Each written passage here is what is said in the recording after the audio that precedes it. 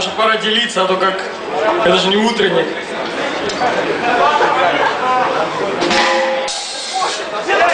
Ну что, поехали?